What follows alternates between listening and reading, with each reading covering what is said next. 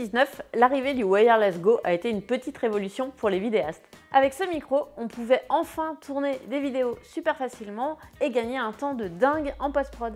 Exit la synchronisation de l'audio et de l'image. Cerise sur le gâteau, le kit était accessible en termes de prix, mais aussi de poids. Et ça, à l'époque, ça n'existait pas. Du coup, Rode a cartonné et le Wireless Go s'est très vite imposé chez tous les vlogueurs et youtubeurs. Mais il manquait quelque chose. Comment faire quand on voulait interviewer quelqu'un? Acheter deux kits? Le problème, c'est qu'à ce moment-là, il fallait avoir deux caméras ou alors fallait bidouiller avec des câbles. Alors, en 2021, Rode a sorti le Wireless Go 2. Évidemment, on s'est jeté dessus quand il est sorti. Le nouveau kit permettait la synchronisation de deux micro-émetteurs avec un seul récepteur. Mais ça, je t'en reparle un peu plus loin. Et puis, Rode a sorti le Wireless Me. Ok, mais qu'est-ce qu'il apporte de plus? Du coup, on s'est plongé dans la fiche technique. Mais comme ça ne nous suffisait pas, on a décidé de l'acheter pour le tester et déterminer lequel est le meilleur pour toi. Wireless Me Wireless Go 2. On verra dans quel cas les utiliser et quelles sont les frictions à l'utilisation, quels sont leurs points communs et leurs différences, et on va se faire un petit test audio. Mais juste avant, si t'es freelance ou que tu souhaites te lancer, on a créé un guide complet pour te démarquer et attirer des clients. C'est gratuit et le lien est dans la description. Nous, c'est Clem et Mumu. On s'est lancé deux défis. Le premier, convertir un autobus scolaire en cinébus studio de création et espace de formation pour nos projets Les Petits Aventuriers et le campus des créateurs nomades. Le second, c'est t'aider à toi aussi devenir un créateur nomade. On commence tout de suite avec ce qui est identique dans les deux micros. Alors pour l'autonomie, les deux appareils proposent 7 heures de batterie. Les deux kits sont compatibles avec les micro-cravates comme le Lavalier Go et les SmartLav Plus. Tu peux aussi les fixer sur le support créé par Rode pour les conférences et les interviews. Maintenant, on va parler de la connectique. Alors le Wireless Go 2 et le Wireless Me utilisent exactement les mêmes câbles de branchement. Le câble SC7 pour tout ce qui est smartphone, tablette, laptop avec sortie mini jack TRRS. Le câble SC2 ou SC5 pour une caméra, donc ça va être une sortie TRS parce que toutes les prises jack ne se valent pas. Si tu as un smartphone Android, dans ce cas-là, c'est le câble SC16. Et enfin, le SC 22, donc c'est USB-C vers USB-C, et ça c'est pour tout ce qui est smartphone et laptop. On t'a fait une vidéo sur ce sujet que tu peux retrouver juste ici. D'ailleurs, suite à nos anciennes vidéos sur les branchements des micros, on a eu beaucoup de commentaires comme quoi ça ne marchait pas. En fait, ce qui est très important, c'est que tu utilises les câbles de la marque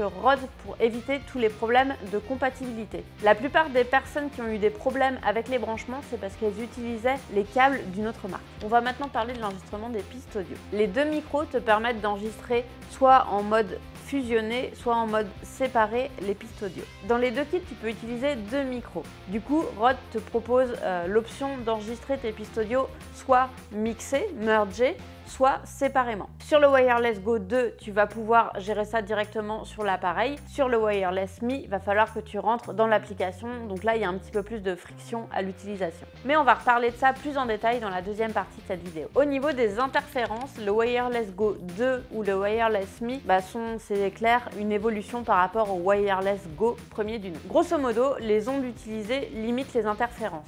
Et ça, ça veut dire que si tu filmes dans des endroits comme euh, des centres de conférences où tu vas avoir beaucoup de vidéastes ou alors dans des bureaux d'entreprise, tu vas limiter les interférences. Le premier Wireless Go gérait assez mal ce problème. Cela dit, on va mettre un petit bémol parce qu'on a déjà rencontré ce problème d'interférence avec le Wireless Go 2 où on captait la radio. Problème que le Wireless Go n'avait pas à ce moment-là. Au niveau des mises à jour des micros que Propose de temps à autre. Pour les deux micros, tu peux les faire à l'aide de l'application de Rode Central. Par contre, et ça c'est un gros par contre, fais-les sur ton ordinateur et pas sur ton téléphone. On a voulu faire la mise à jour du Wireless Me sur mon téléphone et ça n'a pas supporté la mise à jour. On a dû rapporter l'appareil au magasin. On va d'ailleurs faire une vidéo tuto sur le Wireless Me, alors pense à t'abonner. Au fil du temps, Rode a développé différentes applications pour euh, bah, accompagner les vidéastes. Du coup, les deux micros sont supportés par Rode Central qui va te permettre de faire tes réglages internes et aussi les mises à jour. Tu peux aussi utiliser Rode Connect qui va transformer euh, ton ordinateur en studio d'enregistrement. Cette appli, elle est idéale si tu veux utiliser tes micros sans fil dans le cadre de podcast ou de streaming. Et tu peux connecter jusqu'à 4 micros. Tu peux aussi utiliser Rode Capture, une application iPhone qui te permet d'utiliser la fonction dual caméra et de régler ton son directement à l'écran. Et enfin, Rode Interview qui est une application qui te permet d'utiliser ton téléphone en dictaphone très avancé avec des réglages de son, etc. Passons maintenant à ce qui change. On va tout de suite commencer par les micro-émetteurs et les micro-récepteurs. Le kit du Wireless Go 2 est composé de deux micro-émetteurs qui ont une portée chacun de 200 mètres et d'un récepteur que tu vas fixer sur ton ordinateur, sur ton téléphone ou encore sur ta caméra à l'aide d'un câble. Et c'est donc ça qui permet la synchronisation automatique de l'audio avec l'image. Selon tes besoins, le kit Wireless Go 2 existe aussi avec un seul micro émetteur. C'est le pack individuel qui remplace le Wireless Go premier du nom. Maintenant, on passe au Wireless Me. Lui, il va proposer un micro émetteur d'une portée maximale de 100 mètres. Mais on s'entend que 100 mètres, c'est déjà beaucoup. Et tu as évidemment un récepteur que tu connectes à ta caméra avec un câble. Mais la bonne surprise, c'est que sur ce récepteur, tu as un micro. Ce deuxième micro est parfait si tu veux filmer en faisant des voix off derrière ta caméra ou encore des interviews où on ne te voit pas. Mais c'est pas tout, tu peux rajouter un troisième micro. Dans ce cas-là, tu vas avoir besoin d'un deuxième kit Wireless Me ou encore tu peux utiliser un kit Wireless Go 2, ils sont compatibles. J'imagine qu'à un moment donné, Rode va aussi vendre des micros émetteurs seuls. Du coup, cette option peut être intéressante si tu veux faire des podcasts avec trois sources audio différentes. Exemple, si tu veux interviewer un couple, bah, ça peut être super pratique. Et si tu en as un qui parle plus fort que les autres, bah, ça va automatiquement, mais je t'en parle juste après. Par contre, ce qu'il faut savoir, si tu utilises le Wireless Me en piste séparée avec trois micros, les sources audio des deux micros émetteurs vont être mixées ensemble. Et tu auras une deuxième piste indépendante qui va être celle du micro qui est fixé sur ta caméra. On t'expliquera tout ça dans la vidéo tuto. Si tu utilises les trois micros en mode fusionné, bah dans ce cas-là, tu auras les trois sources audio mélangées sur la même piste. Ce qu'il faut bien comprendre, c'est que tu peux pas avoir trois pistes différentes. Euh, le récepteur est pas capable de le traiter. On va maintenant parler de l'enregistrement interne sur ces micros. Alors le Wireless Go 2, lui, propose cette option. Tu as d'ailleurs plus de 40 heures d'enregistrement interne de disponible. Cette option, elle peut être intéressante parce que ça te fait un fichier audio de backup s'il y a un problème de connexion entre ta caméra, ton laptop, ton smartphone, il y a eu un problème, ton câble n'était pas bien branché, et bah ça te fait ton fichier de backup. Alors c'est sûr que tu faudra que tu fasses la synchronisation à la main, mais au moins si c'était un interview, t'as pas tout perdu. Tu peux aussi utiliser cette fonction comme nous on le fait lors des lives euh, en simple dictaphone, comme ça tu as une bande son de secours. Et ça, ça nous permet d'avoir des replays agréables à écouter. Le Wireless Me, de son côté, ne propose malheureusement pas cette option. On va maintenant passer à la gestion des niveaux audio. Le Wireless Me te propose seulement trois modes pour régler le niveau audio, bas, moyen et haut. Ce qui correspond à moins 20 décibels, moins 10 décibels ou 0 décibels. Et ça, tu es obligé de passer par l'application Rode Central pour l'ajuster. Mais par contre, dans le Wireless Me, tu vas aussi disposer d'une assistance pour gérer correctement tes niveaux d'audio. Tu vas avoir trois modes, off, auto et dynamique. Le mode off, ça, ça veut dire que l'assistance est off, donc euh, bah, le micro, il fera rien pour t'aider.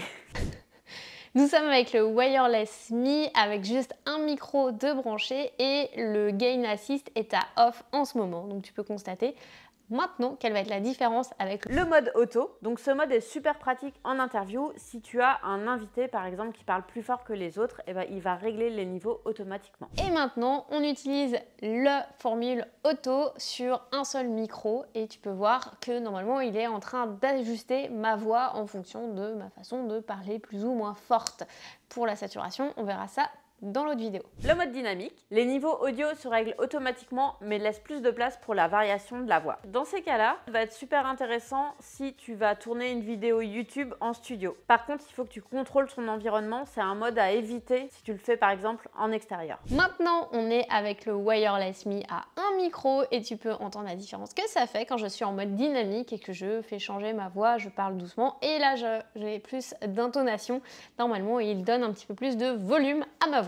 Le Wireless Go 2, lui, va pouvoir te permettre de régler précisément ton niveau audio. Déjà sur le récepteur, tu vas pouvoir régler tes niveaux audio sans passer par l'application Rode Central. Tu vas avoir les niveaux haut, moyen et bas. Donc le niveau haut c'est 0 décibels, le niveau moyen c'est moins 12 décibels et le niveau bas c'est moins 24 décibels. Nous c'est les modes qu'on utilise tout le temps. Mais tu peux aller beaucoup plus loin avec l'application Rode Central où là tu peux vraiment aller dans le détail pour le réglage de tes décibels. De notre côté, on utilise toujours les réglages sur le récepteur puisque notre caméra Canon permet aussi d'affiner directement sur l'écran de l'appareil photo. Par contre, le Wireless Go 2, contrairement au Wireless Me, n'offre pas d'assistance pour gérer le son. On va maintenant parler de l'affichage des informations sur les deux kits de micro. Le Wireless Go 2 vient avec un écran qui est situé sur le récepteur et ça, ça te permet de voir directement si tu as un problème avec ton son, si le son est trop fort, pas assez fort, mais aussi si tes pistes sont bien ou mergés. Et ça, c'est super pratique en tournage. Le Wireless Me, lui, n'a pas d'écran. Donc ça, ça veut dire que tu vas toujours avoir besoin de te connecter dans l'application Rode Central pour vérifier que tes réglages sont bien faits. Et donc ça, ça signifie qu'en tournage, tu as toujours besoin d'avoir ton câble, ton smartphone et de la batterie dans ton smartphone. Cela dit, tu peux en général contrôler tes niveaux audio via ton appareil photo.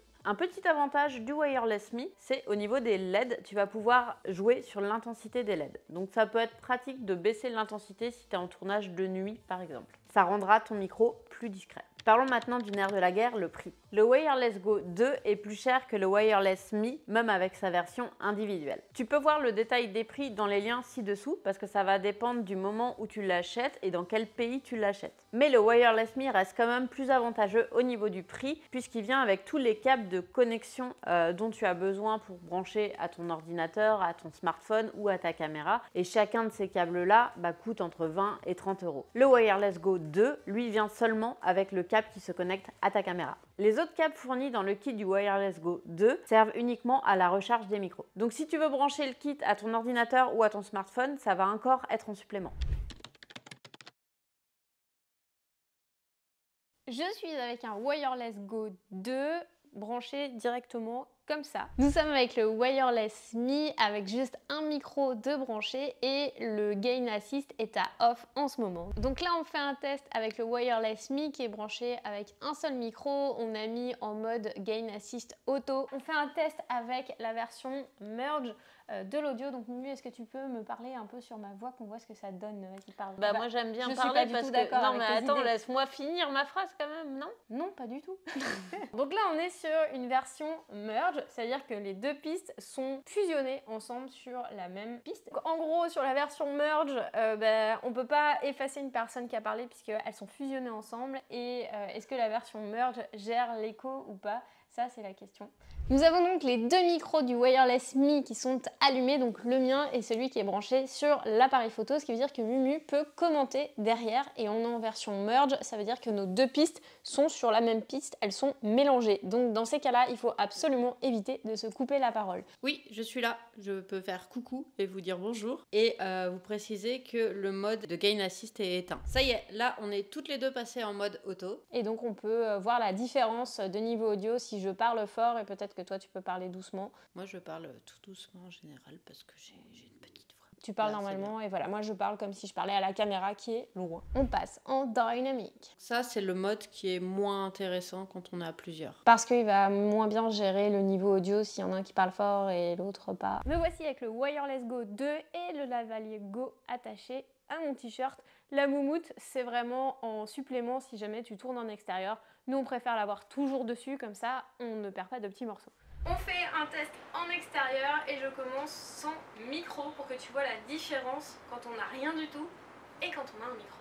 Je suis avec le Wireless Go 2 en euh, micro tout seul, tout simplement. Et tu peux voir que j'ai pas branché de lavalier. Et maintenant, j'ai branché un lavalier Go dedans. Et tu peux voir qu'il y a un son qui est normalement meilleur que euh, précédemment. De toute façon, quel que soit le modèle que tu choisis, si tu fais de l'extérieur, on te recommande 10 000 fois d'avoir un lavalier Go. Et donc là, on a une version merge. Moi, j'ai gardé le micro lavalier. Et Mimi, toi, tu es... Euh, j'ai allumé le deuxième micro disponible sur le kit Wireless Go 2. Donc vous pouvez entendre ma voix. Et on voit ce que ça donne en version fusion Maintenant, on va faire une version split pour voir ce qui est la meilleure qualité. Du coup, on est de retour euh, devant la caméra avec deux micros, sauf que là, les pistes sont séparées, on, est en split mode.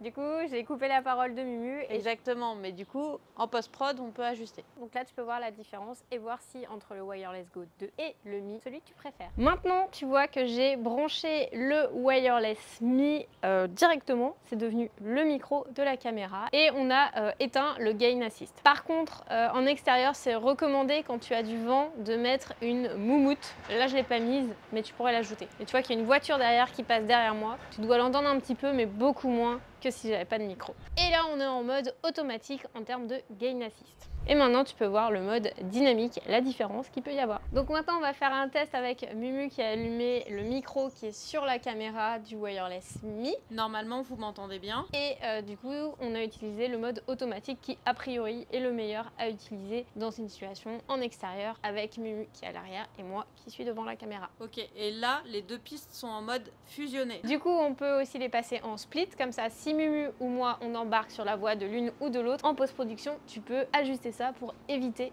cet effet désagréable. Alors du coup, lequel choisir? Si tu as besoin d'un micro maintenant, parce que par exemple tu lances ta chaîne YouTube. Si tu veux faire des interviews ou alors que vous êtes deux sur la chaîne YouTube à animer les vidéos, dans ce cas-là, choisis le Wireless Go 2. Si tu veux faire des tutos, si tu veux faire du vlog ou si tu veux lancer ta chaîne YouTube en parlant seul face à une caméra, à ce moment-là, le Wireless Me, il est parfait. Et rien ne t'empêchera d'ajouter un micro plus tard. À l'heure actuelle, Rode domine nettement le marché avec ce type de micro qui est léger, abordable, mais qui donne quand même un rendu professionnel. Mais il y a d'autres marques, d'autres micros qui arrivent sur le marché, alors si tu en recommandes un, bah laisse-nous un commentaire, on serait curieuse de le tester. Maintenant, si tu es satisfait de ton micro actuel mais que tu aimerais bien upgrader, ça vaut peut-être la peine d'attendre encore un petit peu. Parce que j'imagine bien Rode sortir dans quelques mois euh, un kit Wireless Mi 2 avec deux micros émetteurs dans le kit. Ça aurait du sens puisque le récepteur est capable de traiter trois micros en même temps. Et là, on serait pas mal sur le kit parfait. En attendant, je t'invite à regarder cette vidéo. Elle va te montrer comment l'intelligence artificielle d'Adobe te permet de nettoyer un son sans effort avec un résultat hallucinant. Si tu veux te lancer en freelance ou que tu galères à trouver des clients, on a créé un guide complet pour te démarquer et trouver des contrats sympas. Et tu recevras aussi plein de conseils pour développer ton projet créatif. Revue de matos, inspiration et conseils pour sortir du lot quand on est un créateur. Le lien est dans la description. Et si c'est pas déjà fait, abonne-toi, partage et voyage